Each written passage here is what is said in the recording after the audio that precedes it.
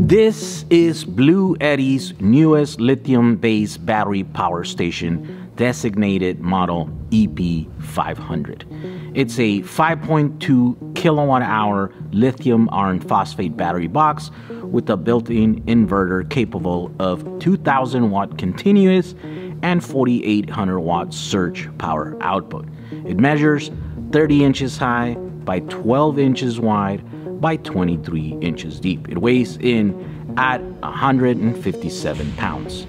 The LiFePO4 battery is reported to be good for 6,000 cycles. It has four 112 volt AC sockets compatible with 20 amps each.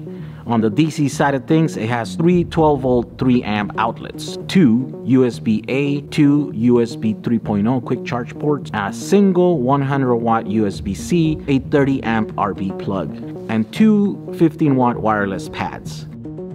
On the charge side of things, solar charging can handle up to 1200 watts with two strings of up to six panels in series.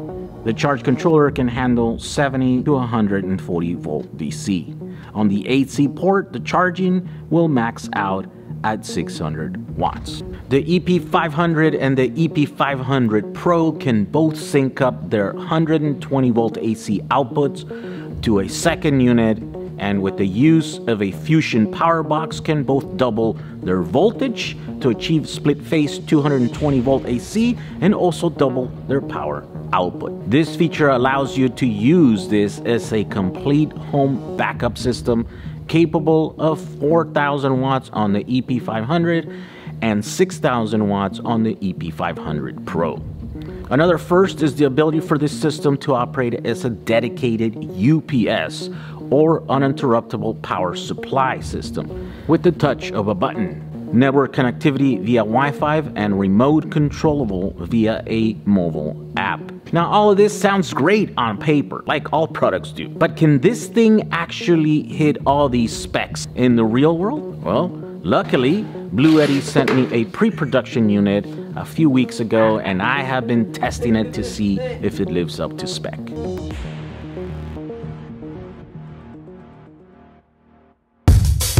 Okay, so first things first, let's test out charging speeds. AC charging, 560 watts.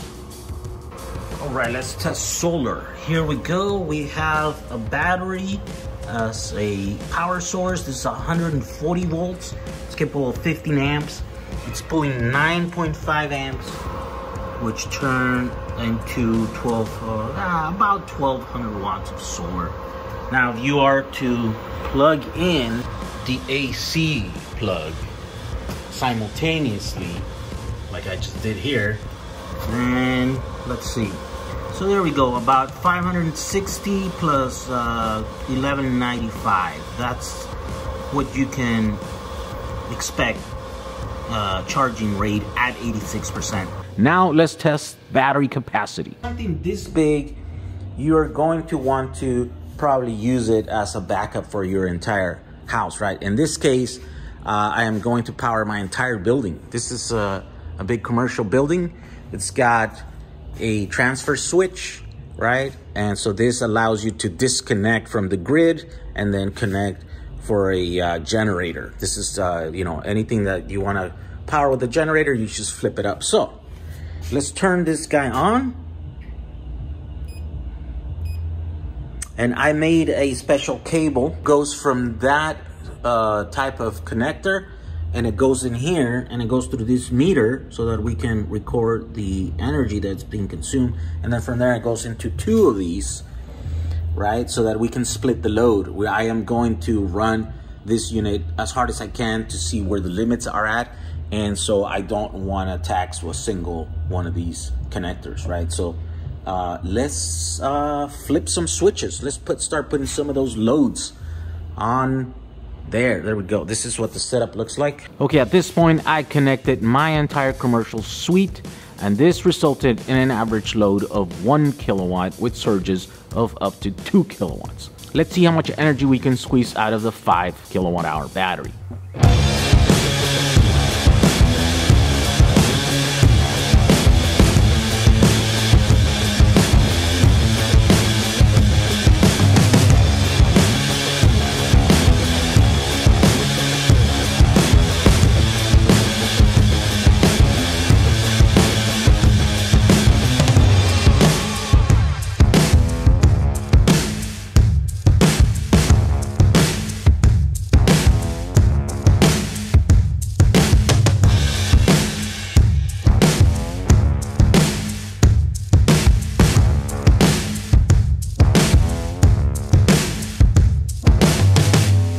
That's our answer, just shy of 4.3 kilowatt hours. That comes out to 85% efficiency. Not great, not bad, just average for this type of equipment. Okay, our next test will be idle consumption. The aim is to find out how much energy the inverter wastes by just sitting there, by timing how long the battery lasts while keeping the system powered up. I started the test on a Monday at 8 p.m.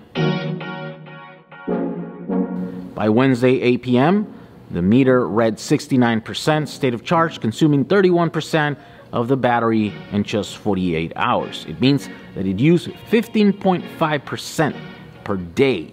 So you can expect six and a half days of battery if you leave the unit on. I was able to verify this as the unit shut itself off in the early hours of the following Monday. Okay, now it's time to test usability. Let's try a couple of tools around the shop and see if we can trip the breaker. First up, a 7 inch chop saw.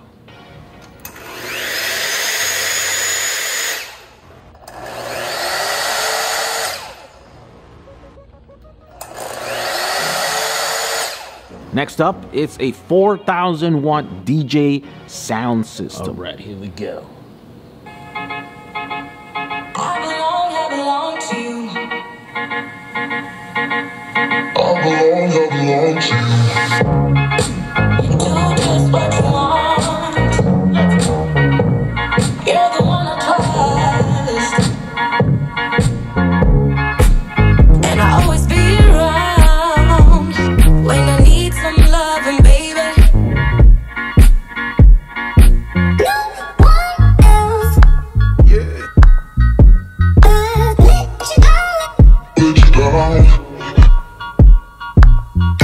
finally, a 120 volt MIG welder set to max power.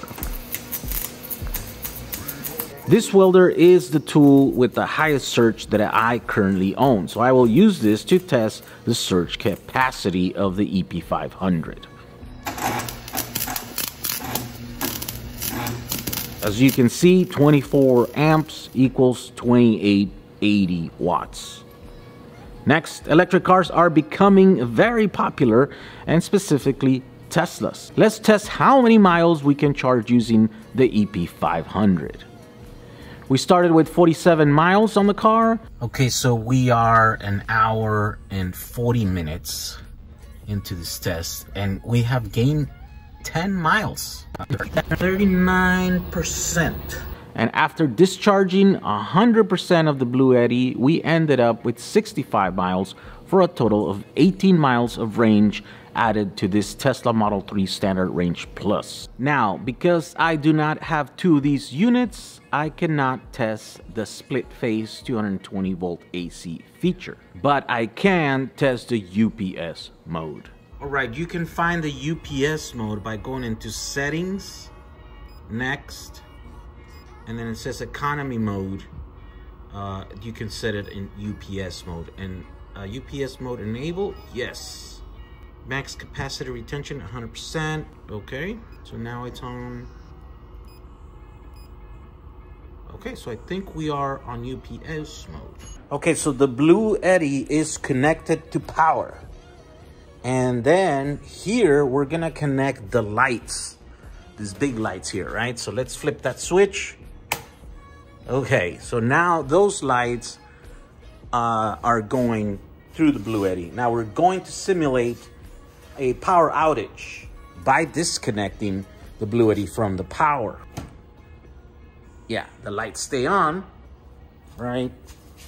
And now it's using battery power. Okay, but I see a potential problem here. You see, this right now, it's set up as a UPS, but only 557 watts is coming in from the grid, but 1,046 watts is coming out to power my lights. The difference between those two, the 500 coming in and the 1000 coming out is going to come out of the battery, even though the UPS mode is instructed to charge the, ba the battery at full state of charge and then keep it there. This will not be able to keep up with the load. So that means the state of charge, which we started at 49%, is gonna keep going down until it reaches zero, at which point this unit will not be able to keep providing power to the AC load. That means that unless you connect another source of input into this, this limitation means that you will only be able to use this as a UPS without solar for loads of 600 watts and below. Okay, turns out the folks over at Blue Bluetti know of this issue and they have a software upgrade to allow you to use UPS mode on bypass, which means that while the EP500 is on UPS mode, the energy powering your loads will come directly from the grid and not from the battery inverter combo. This is great news because that's a much better UPS setup. At the time of publishing this video, I do not have that software patch. I will have to make a separate future video showing you how both the UPS feature and the Wi-Fi feature works. So stay tuned for that. Now, let's get back to the review. Now that the battery is fully depleted, we come to the best part of this review. That's right, the teardown.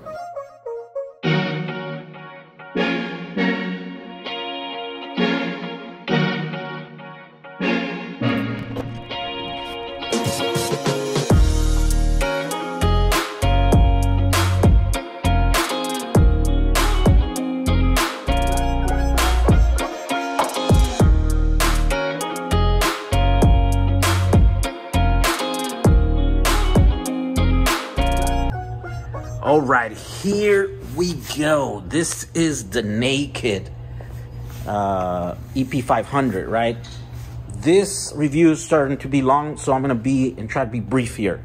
First things that I notice, uh, aluminum and steel structure. This I like. The last Bluetti that I reviewed didn't have this, and I did mention that it was probably a good idea to have that. On this time around, it's about a hundred pounds of battery and about 50 pounds of other electronics, this is the only way that they could get away with doing such a thing. 157, almost 160 pounds. You need a steel structured uh, or some kind of metallic structure like this. This is good news. Very good news. Now let's talk about the battery. The battery seems to be four blocks, 12 volts each, so 4S. Uh, I don't know how many in parallel. They seem to be 26650s about 4,000 milliamp hours, just from what I can read through these little holes here. I don't want to tear this unit all the way down, but seems to be 26650 lithium iron phosphate. Uh, four packs of 12, so that's 48 volts, right? Uh, and so this unit is running at 48 volts. It's got a lot of good stuff in here. You know, it's got fiberglass insulators here, big beefy bus bars, right? These are the ones that are multi-layered uh, then big, thick, six gauge, six American wire gauge, um, silicon wire, and also an 80 amp circuit breaker here, right?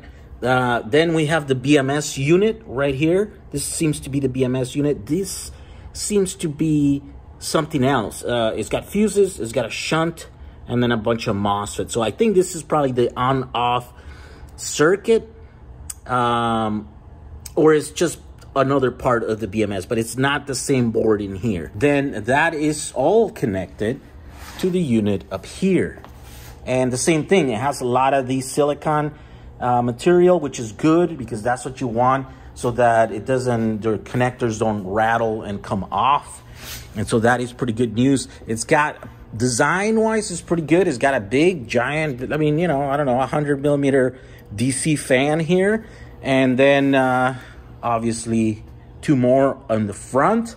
And so it's got that tunnel that we have on the other unit also. This tunnel is bigger, obviously, because this is a bigger unit, two kilowatt hours. Actually, it's not that much bigger than the AC200, right? But this seems way more beefier when it comes to the heat sinks and stuff, which tells me that this will run longer periods of time on continuous mode because of that. It'll be able to keep it cooled longer and obviously this unit uh, with the bigger battery has to do that, right? And so also remember this is the the smaller version of these. There's also the EP500 Pro. I don't know if it's going to change. It might even be the same uh, components in here. They're just maybe it's just software stuff. So if that's the case, yeah, this seems a lot beefier than the other 2000 watt inverters that I've seen. So here's the uh, Wi-Fi thing. At the time of this review, there's only an Android version of the app. I don't have Android, so I will have to make another video in the future when they release the iOS version of the app, right? So that I can show you guys what the, the Wi-Fi controls and connectivity that this product offers, right? So there we go. Anything else? Uh, no, this unit seems pretty well designed. The plastic does seem like it's that same type of uh, rapid prototyping. It's kind of a yellowish, it feels brittle, it feels very light, but no doubt, just like the other models that I have been sent, once the production units come about, then the materials look a whole lot better. And no doubt that uh, we, I, we can expect to see the same thing here. So this is it. This is the EP500 naked. This is what the internals look like. Lithium iron phosphate battery. Yep, good job. I think this is gonna be pretty cool for people that want to add an easy backup system to their you know house or building and stuff. All you have to do is just buy one of these things and install it and then you're gonna be ready to go. All right. The Bluetti EP500 will be released on Kickstarter on March 23rd. I will post the link in the description when it becomes available. If you found this video helpful and you like this kind of content, first hit that like button and subscribe for more adventures with batteries. Thank you for watching and I will see you on the next one.